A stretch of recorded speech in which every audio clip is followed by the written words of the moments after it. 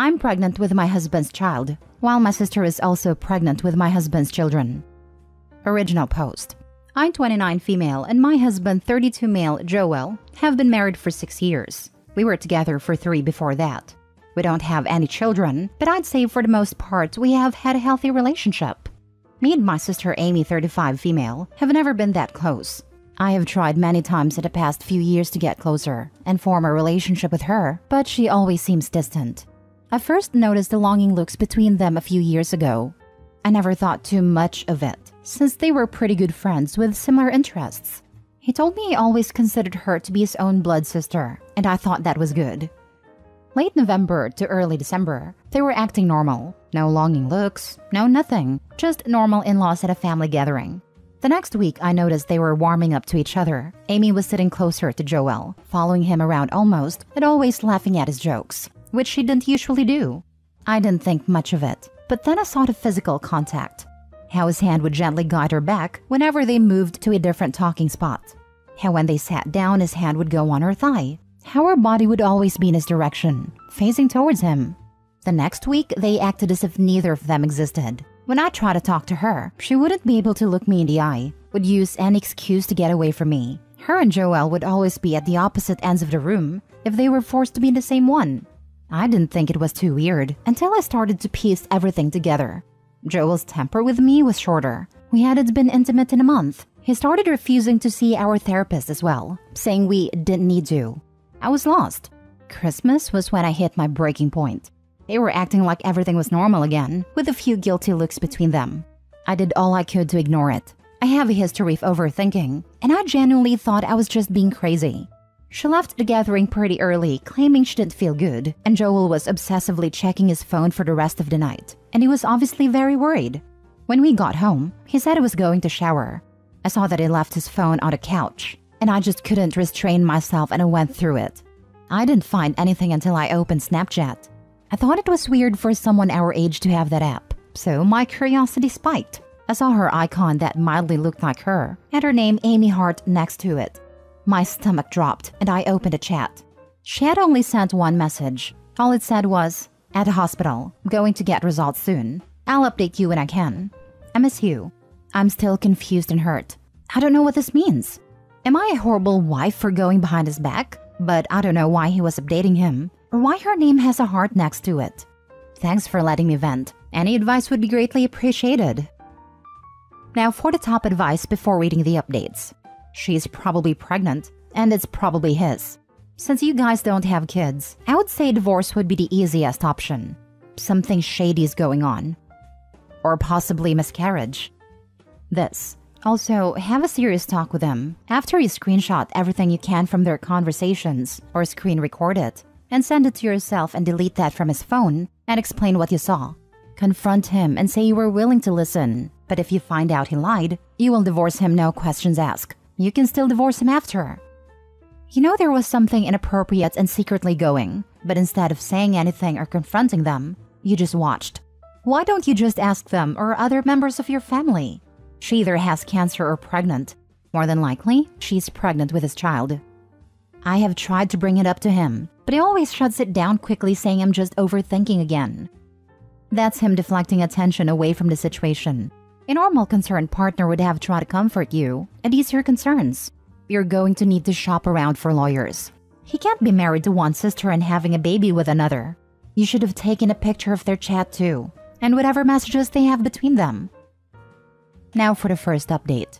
Sorry for the wait. My husband got back from work a few hours ago.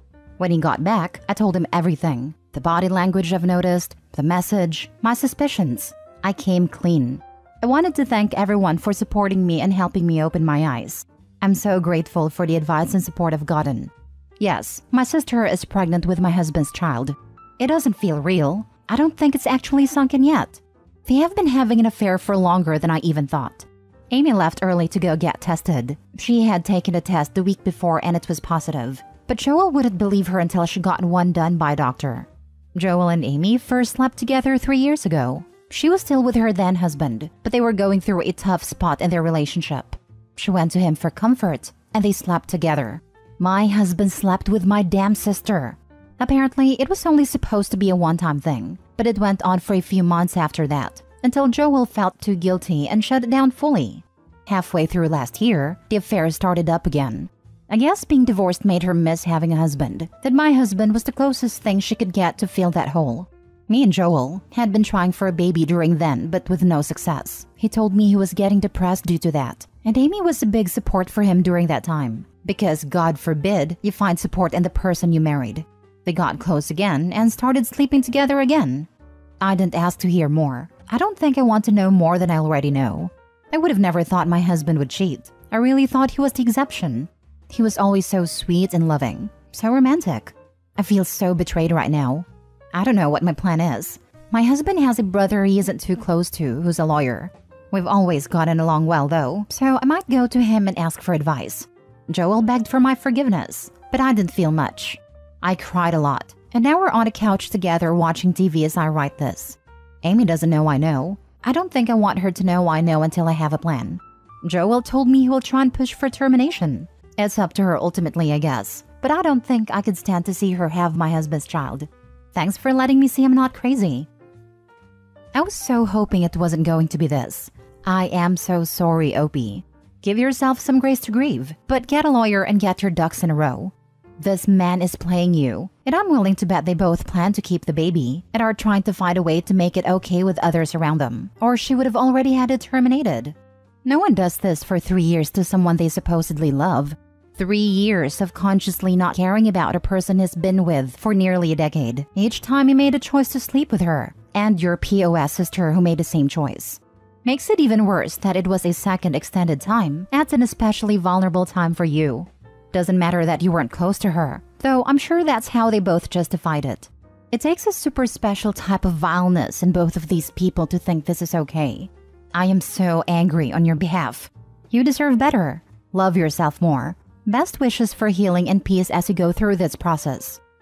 This really opened my eyes. Thank you. I can't believe this is actually happening right now. Girl, I know you're shocked right now, but I have to say this. You can't go to the brother.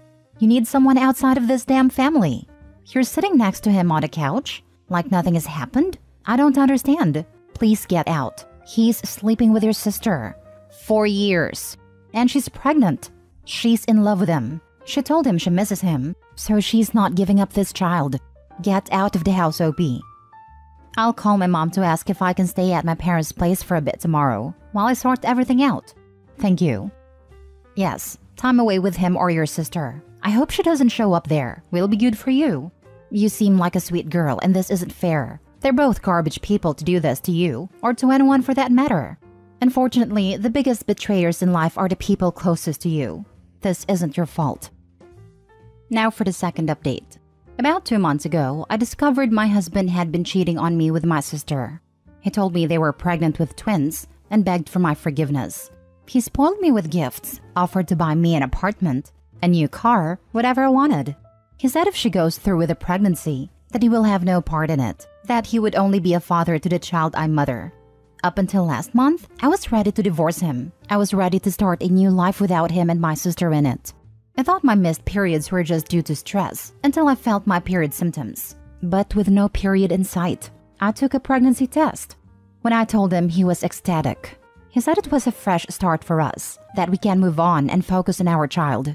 He's already bought most of the stuff we need for the nursery. He's been looking at doulas and midwives in case I want a natural home birth, and different hospitals in and out of state, seeing which one would be best for me if I decide not to. I can't afford a child on my own as he's been there for me financially since I was 20. I've never had to struggle on my own. I never went to college because I would never need to work with him in my life. I didn't even consider the possibility of him not in my life because I was so stupidly in love and arrogant. I got everything I wanted. I had a perfect family and a perfect husband, a perfect house, and a perfect life. We had fertility issues, and trying to conceive was a struggle. My pregnancy was supposed to be a blessing, but instead, I'm wondering why now? Why after all this? I've yearned for this for years, and now it's happening, and I don't even know how I'm going to be able to put a roof over my baby's head if I leave him. Any advice would be greatly appreciated.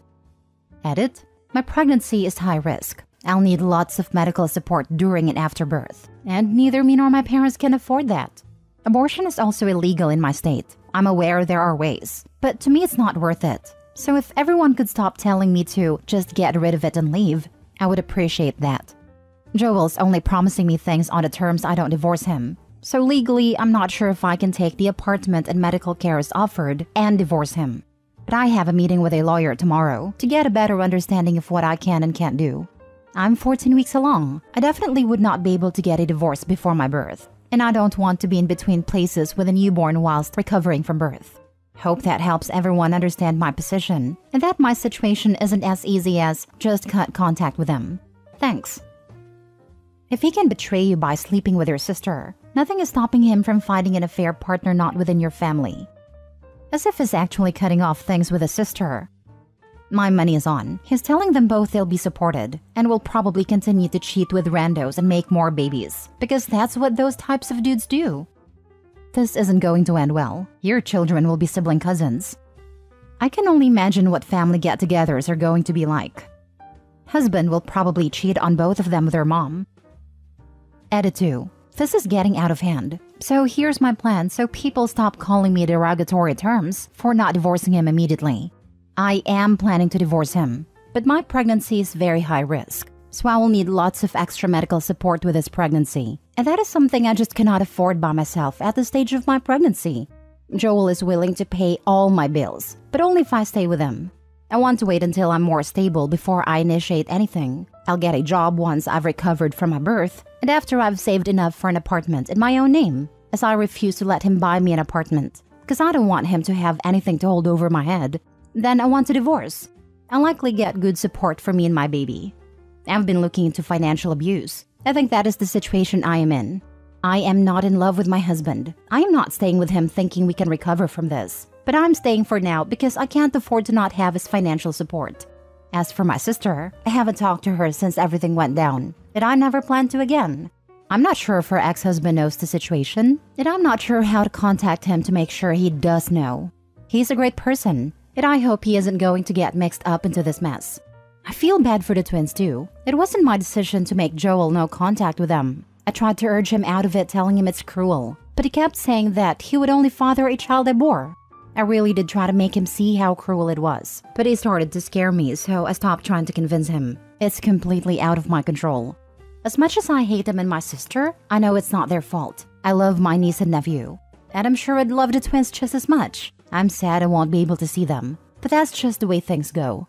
If you think I'm a bad person for using Joel to my financial advantage, I really don't care.